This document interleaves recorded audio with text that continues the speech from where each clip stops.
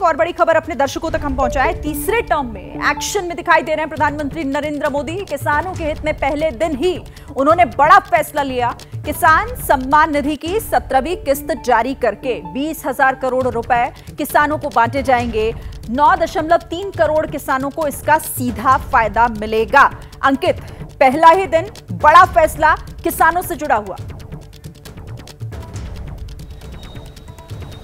जी बिल्कुल, देखिए, मोदी सरकार लगातार ये कहती रही है, खुद प्रधानमंत्री नरेंद्र मोदी कहते रहे हैं कि वो देश का जो शोषित शोषित वर्ग है वंचित वर्ग है, किसान है, महिलाएँ हैं, युवा हैं, उनको ध्यान में रख करके उनकी सरकार काम कर रही है और किसानों को लेकर के खास तौर पर क्योंकि जो है, ये योजना ऐसा नहीं है कि आज ही से शुरू की गई है।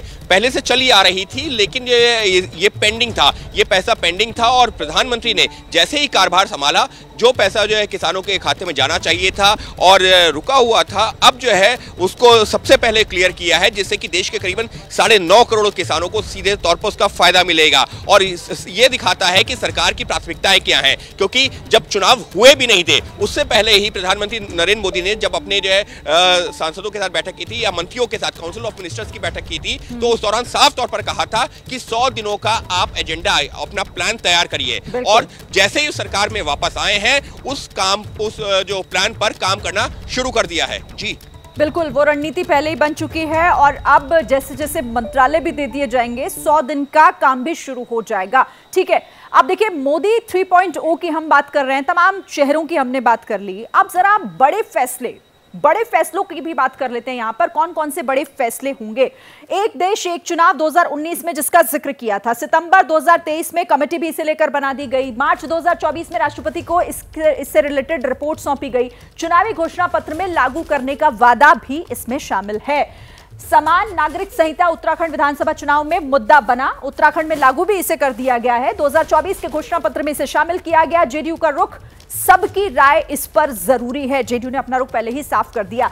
अब यहाँ पर यूएनएससी में स्थायी सदस्यता विदेश नीति मज़बूत करने पर ज़ोर देंगे। यूएनएससी में स्थायी सदस्य का लक्ष्य है चीन के अड़ंगे की काट, लेकिन यहाँ निकालनी होगी यह तभी संभव हो पाएगा। अब आयुष्मान भारत का विस्तार, आयुष्मान योजना का दायरा बढ़ाने पर विचार। चुनावी घोषणा पत्र में वादा किया, सत्तर साल से ऊपर उम्र के लोग इसमें शामिल, ट्रांसजेंडर को भी इसमें शामिल किया जाएगा। तो यह भी एक बड़ा फैसला जिस पर काम होना है। नीरज, क्योंकि पहले ही इसे इसको लेकर शपथ से पहले ही मीटिंग हो चुकी है, जिसका ज़िक्र अभिषेक भी कर रहे थे। ये तय हो गया है, क्योंकि प्रधानमंत्री पहले से ऐसा करते रहे हैं कि सरकार में आते ही, संभालते ही अपने अपने मंत्रालय सौ दिन का लेखा जोखा पूरा तैयार कर लिया जाए। सिरिन, पहले तो मैं सार्वजनिक रूप से आपसे माफ़ी माँगता हूँ। कई बार आपका नाम मैं भूल, गलत नाम ले लेता हूँ। लेकिन अब आपने एजेंडे की बात है प्रधानमंत्री नरेंद्र मोदी जब भी कभी सरकार में आए चाहे 2014 देखिए 2019 देखिए किसी के बारे में अगर राय बनानी हो तो उसके पीछे के कार्यकाल को ज़रूर देखना चाहिए। तो नरेंद्र मोदी के कार्यकाल को जब आप देखते हैं तो साफ़ दिखता है कि वो अपना हर काम प्लान वे में करते हैं। यानी वो पहले प्लानिंग तैयार करते हैं उसके बाद काम शुरू करते हैं। और उन्होंने पहले ही कह दिया कि सौ दिन का वो एजेंडे पर काम कर रहे हैं। सौ दिन का एजेंडा उन्होंने अपने सारे मंत्रियों को भी ऑलमोस्ट बोला हुआ है। सौ दिन के एजेंडे में जैसा आपने ज़िक्र किया वन नेशन वन इलेक्शन इसके अलावा आयुष्मान योजना का विस्तार। विस्तार इसके अलावा यूसीसी का विस्तारीकरण की यूसीसी एक राज्य में लागू हो चुका है। गोवा में लागू है। असम सरकार ने उसे अडॉप्ट कर लिया है। गुजरात सरकार ने पहले ही घोषणा कर दी है यूसीसी के लिए। तो अब इन चार पाँच राज्यों में ऑलरेडी ये इंट्रोड्यूस हो चुके हैं। तो अब निश्चित रूप में सरकार कोई बड़ी बात नहीं कि आने वाले समय में सरकार उसको अडॉप्ट कर ले और इसका विस्तार करके कंट्री लेवल पे कानून बना दे। तो देखिए ये सारी चीज़ें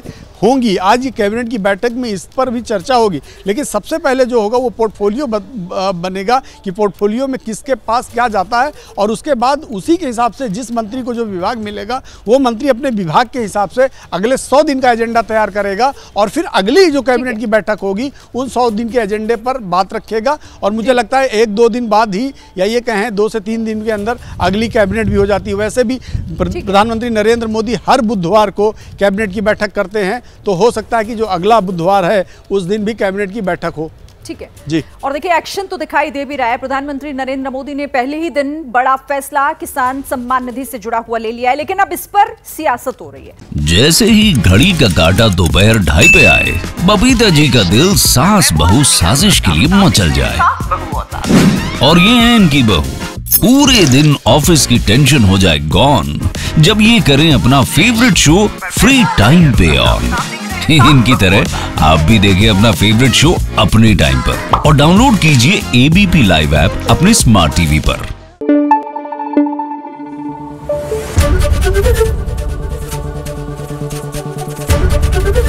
एबीपी न्यूज़ आपको रखे आगे।